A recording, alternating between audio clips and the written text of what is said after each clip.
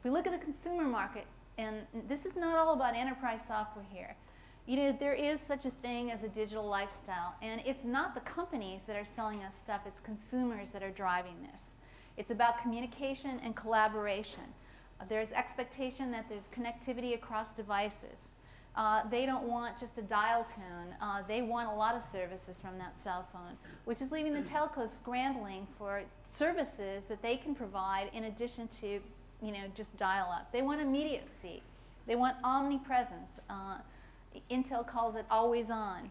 And they want it customizable. They want it programmable, not in the sense that they're going to, you know, write C sharp code, but in the sense that they want it to be their content and their creativity and their friends. And also they want fair prices. Um, that doesn't necessarily mean free, but it does mean fair. And that is driving enormous change across any, any business serving the consumer. We talked about um, broadband and this, this really amazing uh, simultaneous equation of low-cost storage and mass um, broadband availability has really created a huge opening in the market. I won't go through these figures, you can see them yourself, um, but there's a lot of market out there that really now we can assume that broadband is part of the platform if we're delivering something to the consumer.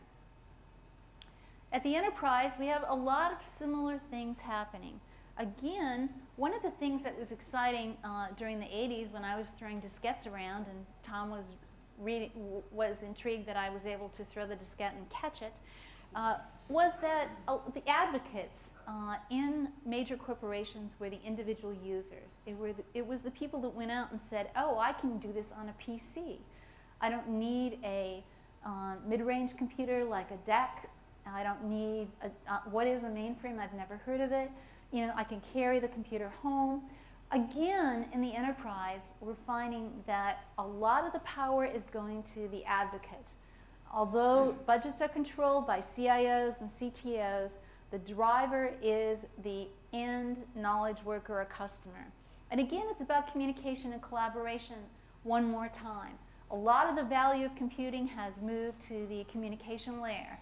Uh, IM is simultaneously in use by consumers and enterprise customers. It is a transaction platform. Uh, it's, it's against a lot of transact, transact in an investment bank in an insecure IM environment, but if you can secure it, it is an instant VPN.